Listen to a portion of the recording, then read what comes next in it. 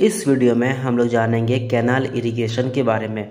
Canal irrigation को अगर layman टर्मों में समझें तो इसका मतलब रिवर्स या फिर कोई डैम या फिर कोई लेक, उस जगह से एक नाला के थ्रू लंबा एरिया में पानी पहुंचाना उसको एक तरह से कैनाल इरिगेशन कहा जा सकता है। मतलब कि कोई लेक है वहाँ से एक रास्ता निकाल दिया गया। बहुत लंबा एरिया के लिए ये पाँच किलोमीटर हो सकता है दस किलोमीटर बीस पच्चीस सौ किलोमीटर। इतना दूर तक के लिए एक नाला बना दिया गया ताकि जो फार्मर्स हैं उनका जो आ, खेत है वहाँ पे वो लोग पानी का इस्तेमाल कर सकते हैं। तो इसको हम लोग नाला कैनल इरिगेशन या नाला इरिगेशन भी कह सकते हैं। अब आगे हम लोग जानेंगे कि नाला इरिगेशन कहाँ कहाँ पर होता है। तो canal irrigation mainly Uttar Pradesh, Haryana और पंजाब का रीजन में और यहाँ तक कि राजस्थान का रीजन में भी किया जाता है। राजस्थान में तो बहुत ही फ़ेमस कैनाल है, इंदिरा गांधी कैनाल तो उससे राजस्थान के एरियाज़ में पानी पहुँचाया जाता है। अब कैनाल्स दो तरह का होता है। एक होता है इन अंडेशन कैनाल्स वो क्या होता है? वो समर सीज़न में वो सूख जाता है। उसके लिए ज़्यादा इंफ्रास्ट्रक्चर नहीं लगता है या ज़्यादा पैसा नहीं लगता है। वो मेनली किसी भी रिवर या लेक से डायरेक्ट उसको आ, अपने से खोद के या फिर किसी भी तरह से उसको एक नाला टाइप का बना दिया जाता है और उससे कल्टीवेशन होता है। वो मेनली समर में ड्राई हो जाता है। और दूसरा होता है पेरेनियल वो हमेशा उसमें पानी आते रहता है। गर्मी हो या बरसात हो, वहाँ पर पानी आता ही रहता है।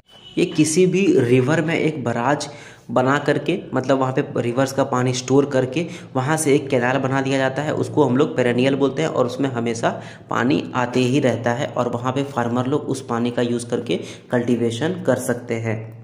अब अगर मेरिट्स और डिमेरिट्स का बात करें, किस कैनाल इरीगेशन में क्या क्या मेरिट है क्या क्या डिमेरिट है तो अगर पहले मेरिट का बात करते हैं, ज़्यादातर कैनाल इरिगेशन में हमेशा पानी आता है, इसलिए गर्मी में भी फार्मर्स को चिंता करने की ज़रूरत नहीं होती है, वो हर सीज़न में अपना क्रॉप को लगा सकते हैं।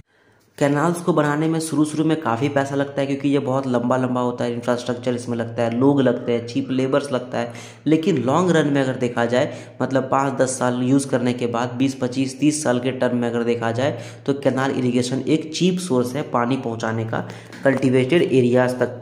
नाला अपने साथ रिवर का बहुत सारा सेडिमेंट्स लेके आता है। उन सेडिमेंट से जो कल्टी जो अपना खेत है, वो काफ़ी ज़्यादा फर्टाइल भी हो सकता है। मतलब उससे न्यूट्रिएंट्स मिलता है और उससे सॉइल्स जो होते हैं खेत का, वो भी बेनिफिट करते हैं।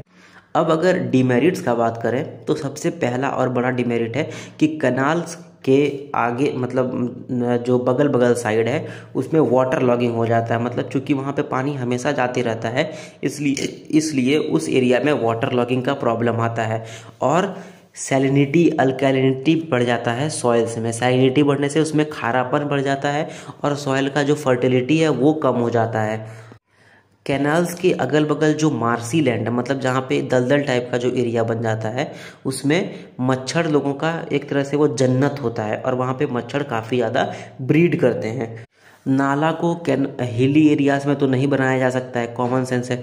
तो ये प्लेन एरियाज़ में ज़्यादातर काम करते हैं और ये हिली एरियाज़ में या फिर ऐसा एरिया जहाँ पर उतार चढ़ाव हो, वहाँ पर कैनाल्स काम नहीं कर पाता। और अगर बारिश का सीज़न आया तो उस सीज़न में तो नाला जो है वो ओवरफ्लो कर जाता है और अगल बगल का एरियाज़ में कभी कभी बाढ़ भी आ सकता है।